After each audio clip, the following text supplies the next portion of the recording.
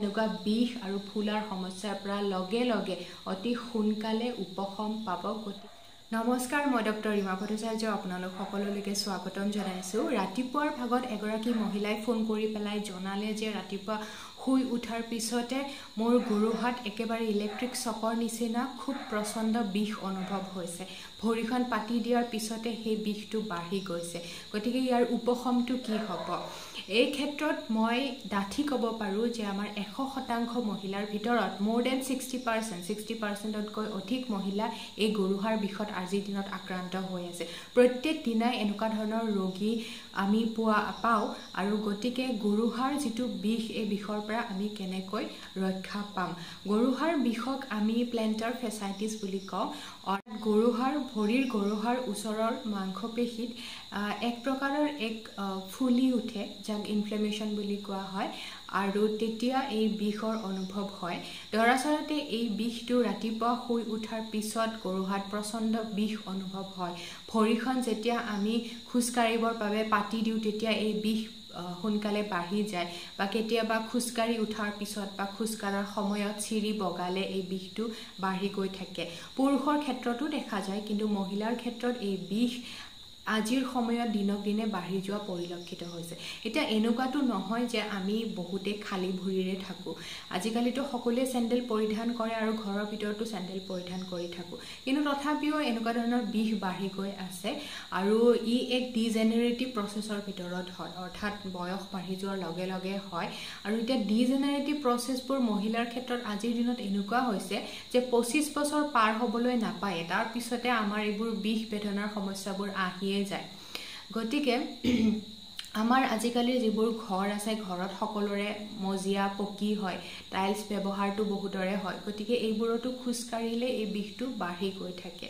কেতিয়াবা কি হয় আমি পটককৈ খালী ভৰিৰে বাহিৰত ওলাই যাওঁ মন্দিৰত কিবা কাৰণত যাব লগা হ'লে বা ওচৰতে কাপোৰ মেলিবলৈ চোতাললৈ যাব লগা হ'লে। তো যদি চোতালৰ ওচৰত ওখোৰা মোখোৰা মাটি বা শিল থাকে সেই শিলৰ ওপৰত ভৰি পৰিলে বা সেই মাটিত যদি আমি সদায় খোজকাঢ়া অভ্যাস থাকে গতিকে সেইবোৰ একোটা কাৰণ হয় যে যিটো ইঞ্জুৰিৰ পৰা আমাৰ যদি প্লেণ্টাৰ ফেচাইটিছ কেতিয়াবা আমি চিকিৎসকৰ ওচৰ চাপিলে কি কয় যে আপুনি ভৰিৰ গুৰুহাৰ এটি এক্স ৰে কৰাই লওক। সেই এক্স ৰেত এনেকুৱা ধৰণৰ এক এক্সপ্লেনেশ্যন কৰা যায় যে আপোনাৰ গৰুহাৰ ওচৰত অকণমান হাড় বাঢ়িছে কাঁইট সদৃশ এটুকুৰা হাড্ডি বাঢ়িছে আৰু ইয়াক আমি কেলকিনিয়াৰ স্পাৰ বুলি কওঁ। গতিকে ই বিষৰ কাৰণ হয় আৰু ইয়াৰ পৰা উপশম পাবৰ বাবে এক খুব সুন্দৰ পদ্ধতি আজি আপোনালোকক ক'ম আৰু এই পদ্ধতিটো কৰাৰ পিছতে আজিৰ পৰাই আপোনালোকে আৰম্ভ কৰিব পাৰিব আৰু এইবিধ ঔষধ কোনো ধৰণৰ খোৱা ঔষধ নহয়। এক লোকেল এপ্লিকেশ্যন এক লগাব পাৰিব এই ঔষধবিধ আৰু যিডোখৰ আপোনাৰ গেৰুহাৰ যিডোখৰ জেগাত এনেকুৱা ধৰণৰ যদি ফুলি উঠিছে যিটো ভৰিৰ গাঁঠিৰ ওচৰত যদি এনেকুৱা ফুলি উঠিছে চুলেই প্ৰচণ্ড বিষ হয় খোজ কাঢ়িলেই বিষটো বাঢ়ি গৈ থাকে বা কেতিয়াবা ৰঙা পৰে। গতিকে সেই জেগাডোখৰত এবিধ লেপনৰ কথা আমি আলোচনা কৰিম আৰু সেই লেপনবিধ যদি লগাই থৈ দিয়ে ৰাতি লগাই থৈ দিয়ে তেতিয়া এনেকুৱা বিষ আৰু ফুলাৰ সমস্যাৰ পৰা লগে লগে অতি সোনকালে উপশম পাব। গতিকে বলক দেৰি নকৰি পেলাই আমি ঔষধবিধ কেনেকৈ ঘৰত প্ৰস্তুত কৰিম আজি চাই লওঁ আহক। পেষ্টটো বনাবৰ বাবে আমাক লাগিব নহৰু আৰু তিনিৰ পৰা চাৰি ফুটা নহৰু হ'লে যথেষ্ট হ'ব। তাৰপিছত আমাক লাগিব কেষ্টৰ অইল। এনেকুৱা কেষ্টৰ অইল যিকোনো ফাৰ্মাচীত কিনিব পোৱা যায়। কেষ্টৰ মানে হ'ল যে এৰাগছ এৰাগছ আমিতো সকলোৱে চিনি পাওঁ। আৰু এৰাগছৰ পৰা ওলোৱা এবিধ তেল বা অইলকে কেষ্টৰ অইল বুলি কোৱা হয়।